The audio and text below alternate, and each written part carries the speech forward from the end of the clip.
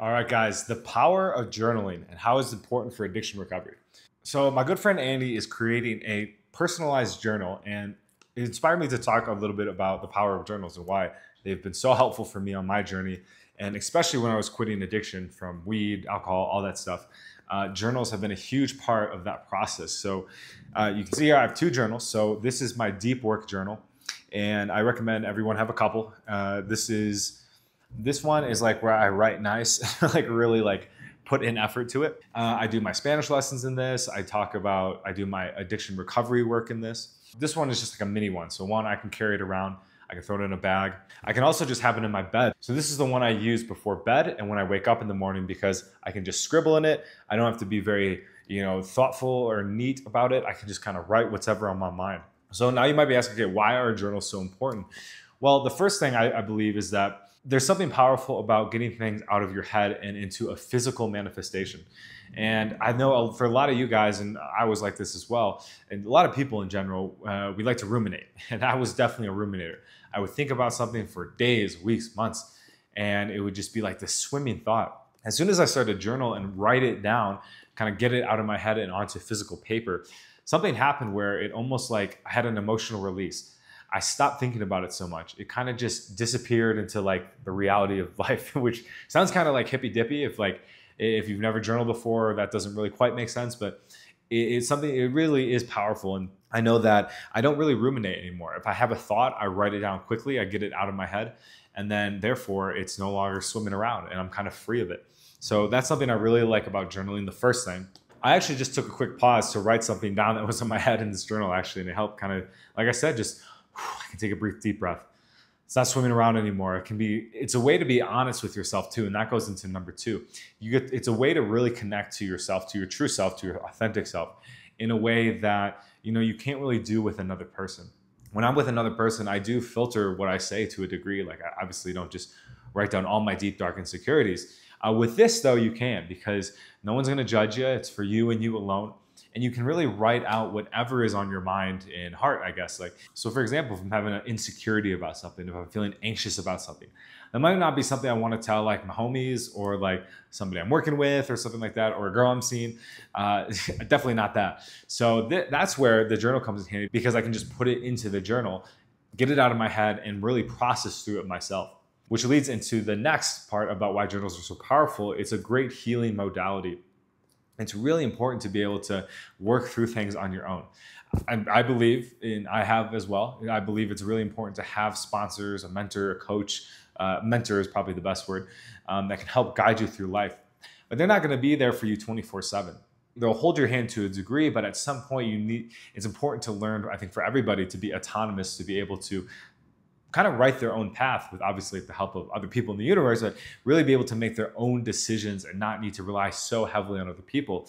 And that's why the journal is so great because it's a way that you can kind of get in touch with yourself and be able to be your own coach. Because once you write things down on the journal and you kind of look it over, you're like, oh, okay, like I can I can kind of see this objectively. It's almost like as if you were coaching someone and someone gave you like a sheet of paper with a bunch of different writings on it about something they're going through it would be a lot easier to kind of look at it and be like, okay, like I see what this guy is going through. This kind of makes a lot of sense now.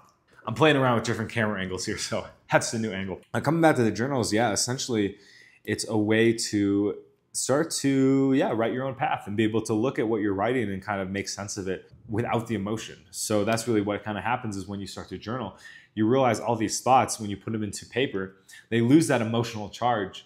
They become just words and words just words are a lot easier to process than words with like a whole emotional story behind it with anxiety with stress with fear guilt anxiety all shame all that right? That sounds exhausting just hearing that. And that's what goes around in most people's heads including my own at many times of, of the day. Like i'm obviously no saint here. I'm uh, i'm working on my own stuff as well every single day. Some days are more peaceful than others for sure.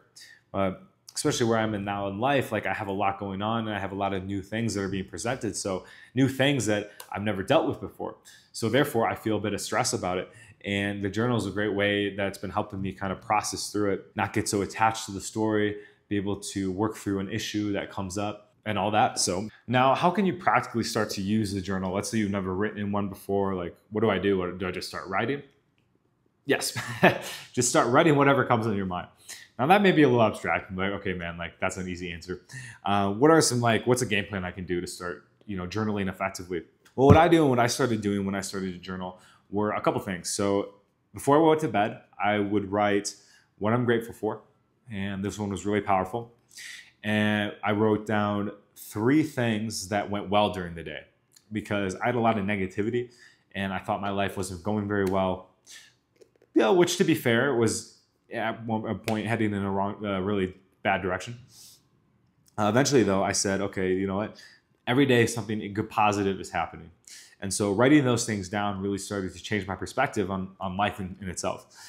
After that, I would write three things that are good about myself. So character assets, I like to call.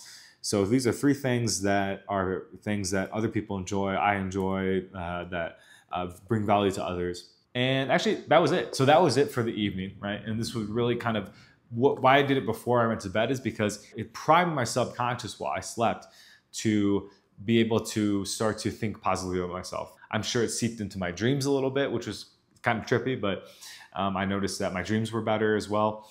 And then I woke up feeling positive and ready to go. So what I would do when I woke up then is that I would open the journal and I would write down same thing, three things I'm grateful for, maybe more even, um, three character assets, and I do this one today still. And what I started doing recently was adding three things I have to do today. And this one was really important because what you'll find from Andy, who uh, eventually will, he's been on the channel before, but you'll see him again. This is really good because he's a high net worth guy. He makes a lot of money. And he really helped me just see like, yo, like you don't have to do like a billion things. Almost that work addiction kind of mindset where I have to be working all day, every single day, and I can't stop. He's what he does is he just focuses on three important tasks that are no like I have to get these done, right? These are the most important things to do. And then if I do other stuff at the uh, after that, great. If not, that's okay because I did the three most important things. So this has really helped me kind of organize my day, especially at the beginning of the day when my mind's fresh and I want to be kind of, you know, I don't want to be stressed all day. So this has really alleviated the stress and allowed me to focus in on what's the most important. And then once I get those done, I get to kind of chill. and uh, I usually keep working to some degree, but uh, I, I, get to at least relax internally knowing that I did what I set out to do at the beginning of the day. So, so those are a couple ways that you can start implementing the journals right away. Obviously, there's more advanced stuff like diving into like healing trauma, trauma work. I'm definitely going to do more videos on journaling, so I'll talk about that more. There's a really powerful one by Byron Katie. It's called The Work and it's a book called The Work, and I would check it out if you guys haven't already. And it's a great way to overcome fear. So I still use it today. I just did it, you know, during this session here when I was filming, and it really helped just kind of really say the truth of the of what is to say, as they say in Buddhism. So I'm gonna make a video on that in the called The Work by Byron Katie. Um, other than that, guys, yeah, uh, would really recommend picking up a couple journals. These were each like 10 bucks each, and they've taken me a long, long way. Uh, I'm very grateful for them, and I'm grateful to be able to talk to you about it because I think it can really help a lot of you guys start to get out of your own head and put those thoughts and dreams and hopes into action. Uh, action, action, action. That's the key of recovery. Got to be taking action every day. And this is a great way to be able to do that and start to be able to do that. Really, yeah, we're really working hard on you know what's important to you and how, how you can uh, make make big improvements in your life. So so with that, guys, yeah, subscribe if you haven't already. Uh, like, comment, share, and we'll talk to you in the next one. Peace.